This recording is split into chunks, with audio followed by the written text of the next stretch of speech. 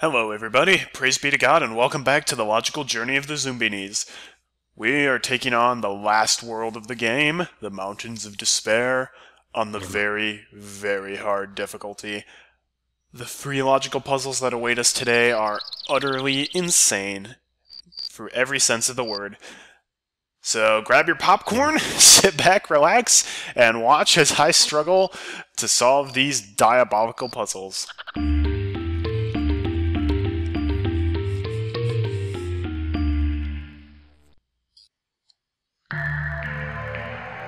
The Zoombinis creep carefully through the spooky mountain tunnels until they come to a dimly lit cavern.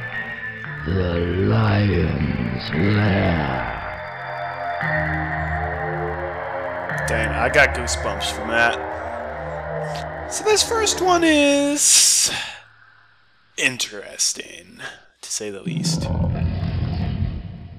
Yeah, you see what I see?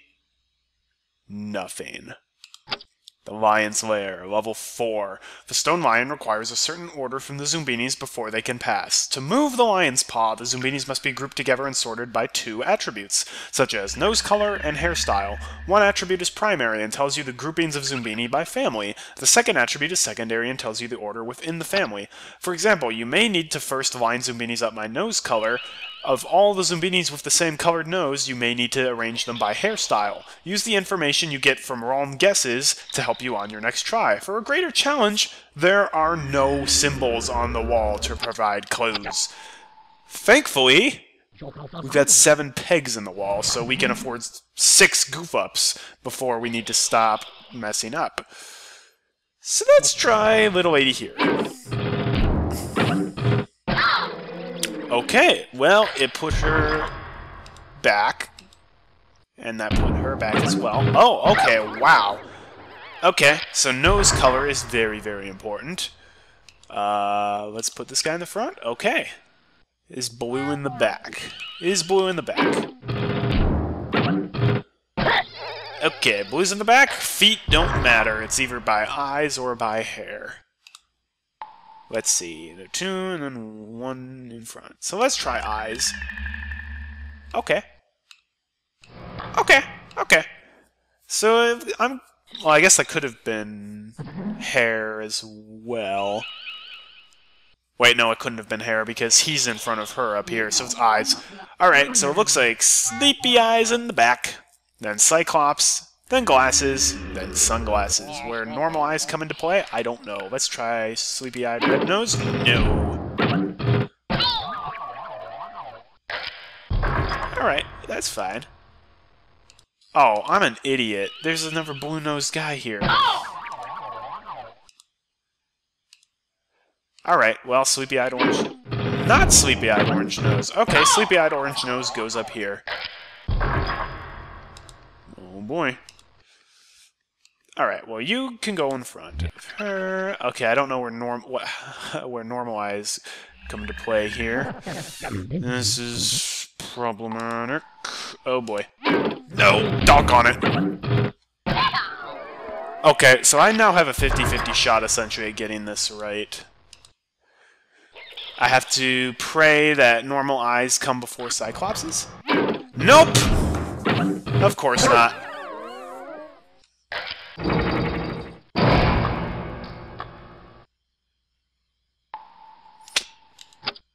I do not like that puzzle because, thankfully, it's the first one in the order, but it's just way too much random chance.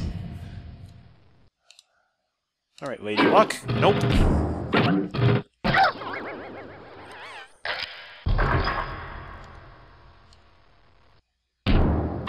And when stupid stuff like that happens, it's like...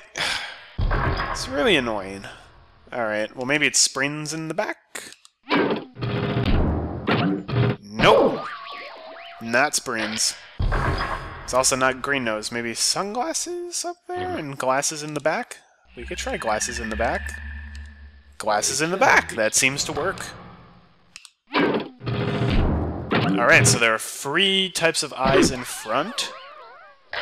That's probably going to be normalized. Yeah, that's got to be normalized. Okay. And he has to go into the front.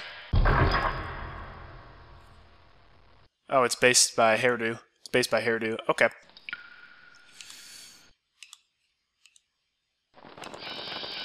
Alright, so spiky-haired guys have to go before bald guys.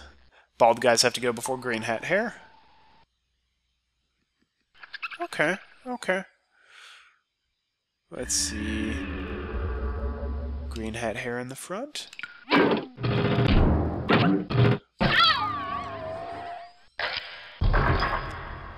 Oh boy. Okay, well, piecing together what we know. Spiky hair tends to go in the back. Okay, and oh, we don't have any knowledge on ponytail-haired guys.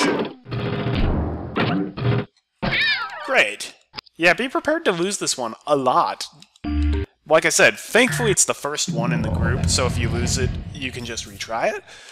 But it's because there's the two groups that you have to deal with. It's really annoying.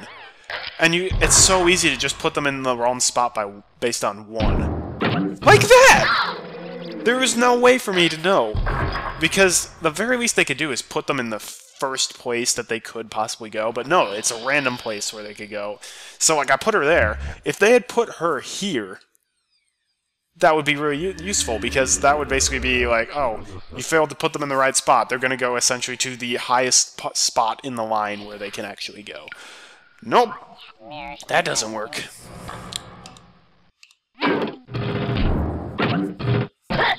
Alright, it's not feet, it's not nose, it's either eyes or it's hair. It appears to be hair. So what makes her more special? If only I knew. How many bowl cuts do we have here? Oh, really? Only one? I'm gonna guess Ponytail Lady goes there. Cool. Bowl cut dude goes there. Now we got four spots up there. Could be either one of these. I'm gonna say spiky hair in the back. Yeah. And I'm gonna say eyes are what we're going off of. Wait, no, it's not eyes. Can't be eyes. Um, feet, then. I'm gonna say it's feet that we're going off of. That seems to be right. Now, do springs come before? Yes, springs come before... Propellers come first. Then springs, and then bicycles. Cool, got lucky that time, so we can go through. Whoa! My! You've done exceptionally well! Mr. Lion, I do not like that puzzle. Not very logical. Use the crystal filters to change the Zoombini's reflection.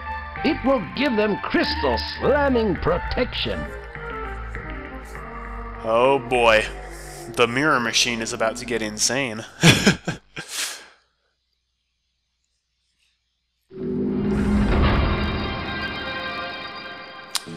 Might not look much different than before, but it is. Mirror Machine Level 4. The Mirror Machine requires matching reflections in the center crystal before allowing Zoombinis to pass. Zoombinis are sent through two at a time, so it is necessary to place filters that will successfully transform both Zoombinis. Place the attribute filters in an order that will transform the Zoombini images and make this possible. You can place up to three filters on either side of the central crystal. For example, a filter with shaggy hair will transform the ponytail hair of a Zoombini to shaggy hair. When you're ready, place the correct filters on either side of the central crystal and then click the lever. If the projected images are identical, the Zoombini will pass to the other side, if not, the Zoombini will be knocked back to the Shade Tree base camp. Some filters display changing attributes, and the transformation will vary based on the image of the Zoombini. For example, a filter with blinking hair styles will change the hairstyle of the Zoombini, but the transformation will be different depending on the original hairstyle of the Zoombini. So yeah, basically like very hard, except you've got the Zoombini here and the Zoombini back here the Zoombini filter here and the Zoombini filter back there. When we pull that lever, this Zoombini is going to go through. The next one is going to pop up, and immediately this is going to turn around, and then they're going to be forced through as well. So we have to put up filters that will successfully make both of these uh, Zoombinis match both of those filters. Not fun. So for example, this guy's got roller skates, that guy's got roller skates. This guy's got uh, pink shoes, that guy's got roller skates. We need this guy to have roller skates. Thankfully, there are roller skates right there. That will also turn them to normal eyes. If we put normal eyes on that side, their eyes are going to match. So now, the, both of these Zoombinis are going to have the same hair as both of those Zoombinis. They're both going to have the same eyes, but their nose is going to be different. So now we've got to figure out the nose situation. Well, we can put that filter there and that filter there. So, checking one at a time, this Zoombini will have spiky hair, that Zoombini will have spiky hair, he'll have glasses, he'll have glasses, he'll have an orange nose, he'll have an orange nose, he'll have roller skates, he'll have roller skates. So that one's good. Second Zoombini, spiky hair, spiky hair. Glasses, glasses. Orange nose, orange nose, roller skates, roller skates. So that's good. If we pull the lever, you're going to see what happens.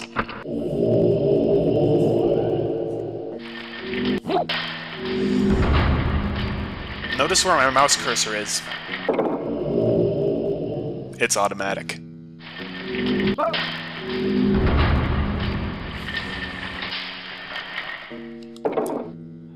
Yep, this just got a lot more fun. So, it's very difficult. But at the same time, I'm not sure if it's as difficult as the last difficulty. Because you have to do two at a time, the filters tend to be more straightforward. And because you have to do two at a time, you get through it almost twice as fast. So, I actually might like this one better than the very hard difficulty. Alright. Looking at this, their noses are going to be the same and their feet are going to be the same. These guys need to have a bowl cut. That's changed now. All we need to do is get their eyes right. So... If we do that, he's to get a bald head. And if we do this, he's to get a ponytail. Well, if he gets a ponytail there, we can do this. So keep in mind, you really have to watch out for the flashing filters on this one, because, for example, this is a flashing hair filter. If these two Zoombinis have different hairstyles, that filter is going to change for each one of them. Thankfully, if they have the same hairstyle as they do, we know that's going to be a ponytail for both of them. So that's going to be a ponytail on this side for both of them, ponytail on that side for both of them, glasses on this side for both of them, glasses on that side for both of them, blue nose for both of them on both sides, and the same feet.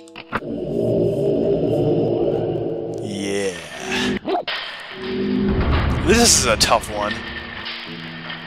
The entire Mountains of Despair is just ridiculous on the highest difficulty.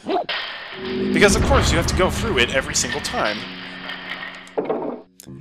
Alright, their feet are not matching up. And we've got flashing filters. That'll change to a sprain. That'll change to roller skates. Excellent.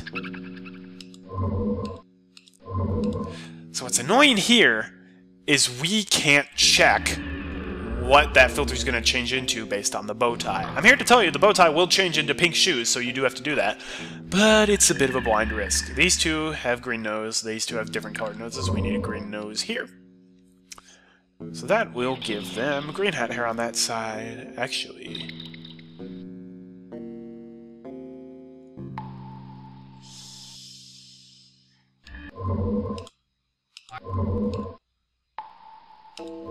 If we do that, they're going to get a bowl cut on each side, and we need to change their eyes. So I see.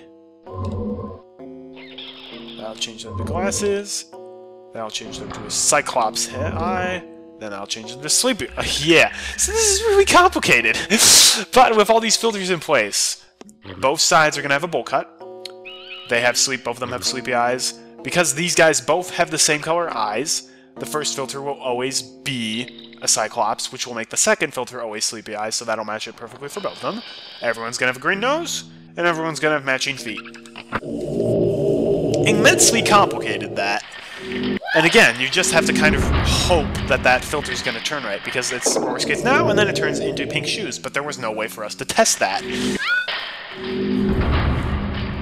So this one's pretty evil. This one's very evil. Oh, okay. And we've got two springs on this side, but different types of mm-hmm. shoes on that side. So we gotta make those shoes match. Only way to do that is to put shoes on each side. Now, because these guys have the same eyes, and one of these is flashing eyes, we're going to do that. So now the eyes are going to be mm-hmm. consistent on both sides. But, do that. There we go. So again, these two filters have the same type of eye, which means the flashing filters are going to be the same for both of them, which means they're both going to have tired eyes, they're both going to have the same nose, because the noses just happen to line up, they're both going to have pink shoes, and they're both going to have the same type of hair. A lot of checking needs to be done for that.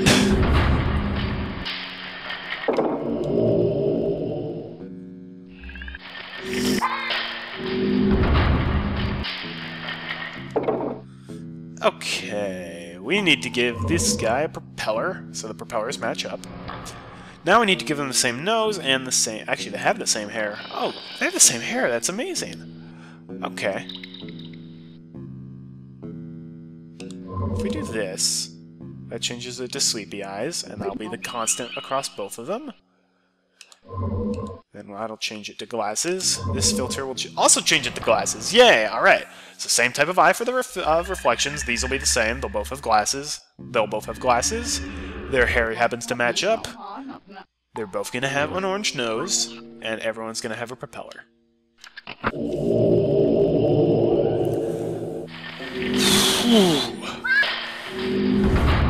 This is not twice as fast as very hard because you it's there's a lot more thinking and checking that has to go into it.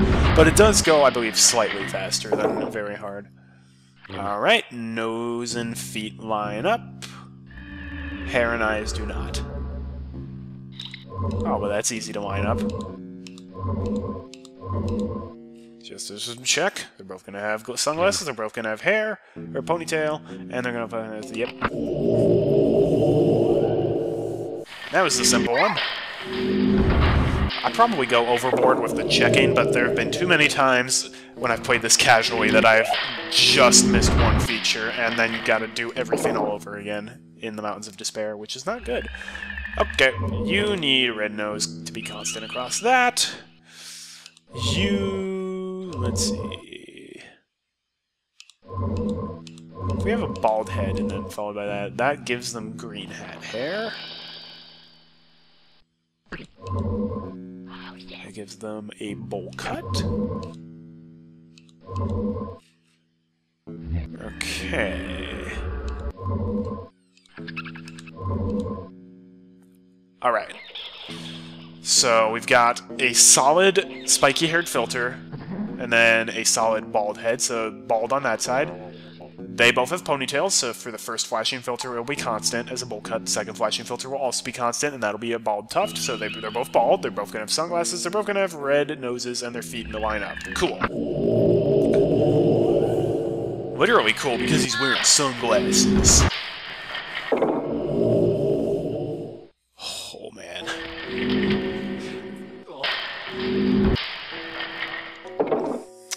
Alright, feet line up. We need... Actually, because we've got two different purple noses, maybe we can line that up a different way. Let's try lining up their hair first.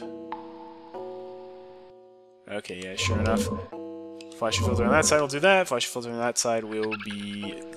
Uh, glasses. Oh, I know. So that lines up the... Alright, so they're all to have bikes. They're all going to have purple noses. They're all going to have glasses. And they're all going to have spiky hair. Cool. That'll be the exact same image both times.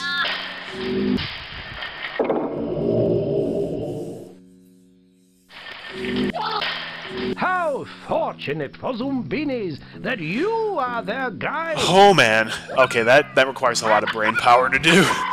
But wait till you guys see the next level. My, that was a mind bender. But onward and downward they continue. I do not like the sound of that. Oh yeah, wait till you guys see Bubblewonder Abyss.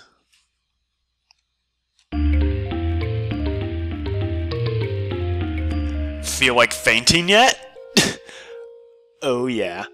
Epic music though.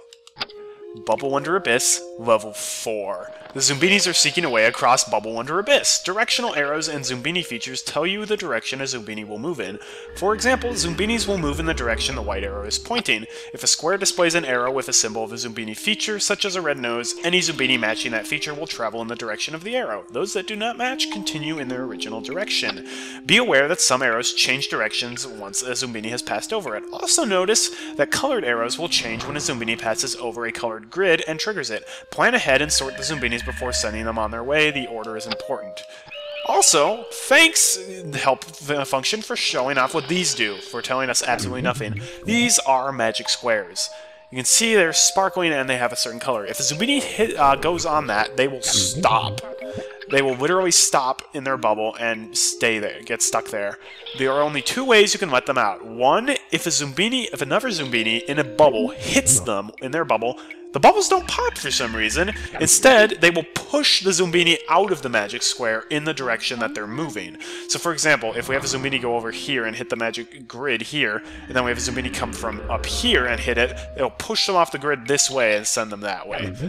And then, the other way to get them off of that is to hit the colored trigger that matches the color of the magic square. If you do that, then the magic squares will be released, and the Zoombinis on them will be released and continue in the direction that they were traveling when they landed on the magic square. So, if we put a Zoombini up here and hit the magic square, then hit the trigger, he would continue in that direction and enter the vortex. Whereas if we put the magic them in the magic square here and then had a Zoombini come from down, push, they would push the Zoombini off the square, up, they would travel up and get there, and then the Zoombini who pushed them off would then get stuck in the magic square. However, then if we hit the magic, uh, the color switch, they would continue in the direction that they arrived in, which would be going up, so they continue going up. So yeah. Bubblewonder Abyss on very, very hard. The one nice thing is, no luck involved. It's just pure skill and intelligence. If you are smart enough, you can trace through this, and you can come to the solution, but it is incredibly difficult. So, yeah. If we go up, we've got this red trigger here. The red arrow points upwards. You'll hit the yellow trigger, which will switch this around. And then if you're a bow tie, you will survive. So who's a bow tie? We have bow tie. Who's a propeller? We have two propeller Zoombinis. Okay, that's good. If the red arrow is pointing that way, they will die. And if the red arrow is pointing this way, they will hit this blue trigger, which gets send them one of two different ways. Very complicated. If they go down, well, if they have roller skates, they'll move up and push them out. Otherwise, they will continue up, and then if they have a ponytail, they'll go there. If they have a bow tie, they'll go there. This is so complicated now, isn't it? You're probably already lost and wondering, what the heck do I do? Well, look at it this way. Everybody who goes this way will survive as long as they are not a roller skates. So, who has roller skates? Only this guy has roller skates. Alright, we'll set him to the side. Literally every ever Zoombini could go this way. Now here's the thing, they can go through, but then they're stuck over here, and we have to put them that way, and as of right now, the yellow trigger will send them to their doom in the vortex. Not good, is it? However, if we have the roller skating guy here, we could send him up and hit the trigger, except then he'd hit the vortex, which is not good. So rather what we need is we need to send somebody up into the yellow trigger who has a bow tie so they will enter that grid. Well, we got two different bow-tied Zoombinis, or propellers. I call them, I use both terms. So we'll set them to the side as well. So that could be an option. We could save one of the uh, propeller Zoombinis to send up, and then they'd get stuck in the magic grid, but that would hit that, and then all the other Zoombinis could go up here, They'd gradually go into the magic grids, and all of them would go through to the exit, except two, the last two, would get stuck in these magic grids. So once they're stuck in there, we would have to release them from their magic grids by hitting these two switches. In order to do that, we would need to send them up, hope that the arrow's in the right direction, so we'll have to time it so the Zoombinis will actually go for it the right amount of time, so that way it'll be this direction. Then if we go this way, we'll need one Zoombini with a propeller. Hey, we got two Zoombinis with a propeller, so we're covered, and then we need a Zoombini with a ponytail we only have one ponytailed Zoombini, and that's this lady. So we set her to the side as well. So these four Zoombinis are all going to be crucial to the puzzle. But here's another thing we didn't consider. If we hit this pink trigger, It's true that this Zoombini, who's the last Zoombini here who gets stuck, will be released, but that first propeller Zoombini will also get released into the vortex, so we're going to need to hit them from here, which is going to require us hitting the blue trigger first, and then sending our roller skated Zoombini up here. And then, when we send the final Zoombini to hit the pink trigger, everyone will go free. So that's pretty much it, isn't it? However, one thing we need to keep in track of is exactly how many times do we have to can we hit that red trigger so it'll stop there. Keep in mind, this is where I said, if you hit a trigger or if you pass over something that'll change direction, it'll always change it clockwise. So one, two, 3, 4, 5, 6, 7, 8, 9, 10, 11, 12. Or actually, hang on. So we have 1, 2, 3, 4, 5, 6, 7, 8, 9, 10, 11, 12 Zoombinis here. So we have 12 Zoombinis who can go across that way, which means 12 times we're going to hit that button. So it'll be 1, 2, 3, 4, 5, 6, 7, 8, 9, 10, 11, 12. That's not good. If we do that, if we do it 12 times, it's going to be just back to the original position. If we do it 11 times, it'll be here, and if we do it 10 times, it'll be there. So we need 10 Zoombinis to go across there. Hit the switch 10 times, and then it'll be in the right position. We have 12 Zoombinis here, though, which means two Zoombinis here are going to have to go up when the red trigger's been hit enough so that it's facing this way and pass through here without falling into the vortex. In order to do that, we need to make sure none of the Zoombinis who go that way have a red nose. So this guy can't do it, but he can do it, and he can do it. So now we've got our six Zoombinis, who are our special crew. Alright, that's everything we need to know. Let's start sending these Zoombinis across. So this requires a ridiculous amount of forethought and planning ahead. But actually, it's not that bad. Once you've solved it once, it's not too hard to solve it again.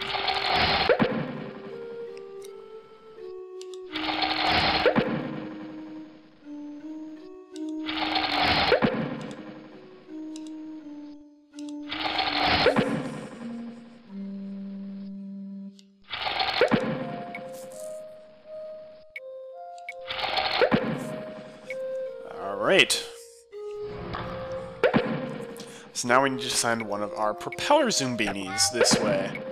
You, sir, are going to do the honors. So watch, he's going to go up, hit the yellow switch, switches both of those, and now he gets stuck in the magic field. But now these all these Zoombinis can go up, so let's send all these guys upwards. And you'll notice we got 10 here. We're going to hit the switch 10 times. It's going to be facing to the right permanently. And now you can see they're getting stuck. And now watch. The third Zoombini is going to go move into this Zoombini and push them gently out, not popping them, but rather pushing them to freedom.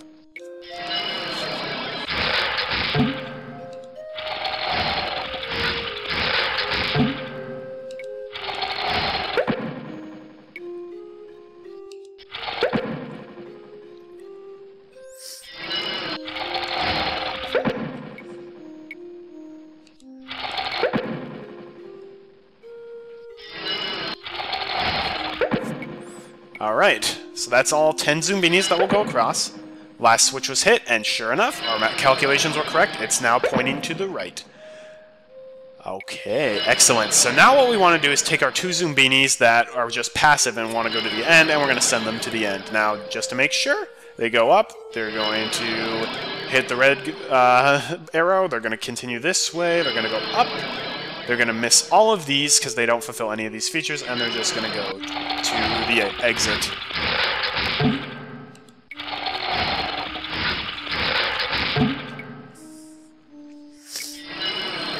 The magic field sound effect is quite annoying, though. Alright, so our next step we're going to want to do is hit that blue switch so that we're going to free this Zoombini as well as change this direction so we'll be able to save him. In order to hit the blue switch, we need to send our Ponytail Zoombini next.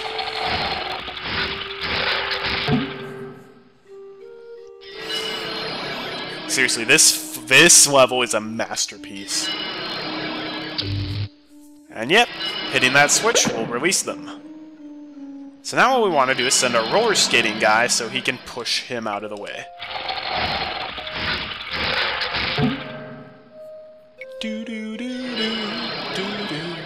Such beautiful music. And yep, he's going to push him out so he can go to safety. And now if we hit the pink switch with our last Zoombini, both of these Zoombinis will be freed and sent in the proper direction towards the exit. That was a monster to deal with, but also just so much fun and just so well crafted.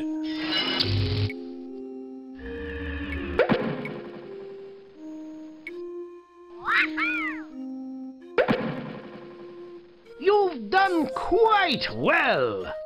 yes, I think I have.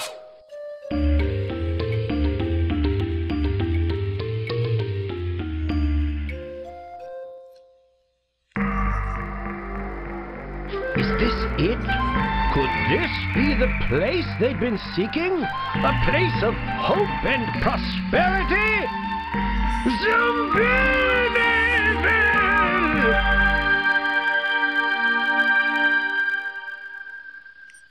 Zoombiniville population will now be 160. That's amazing.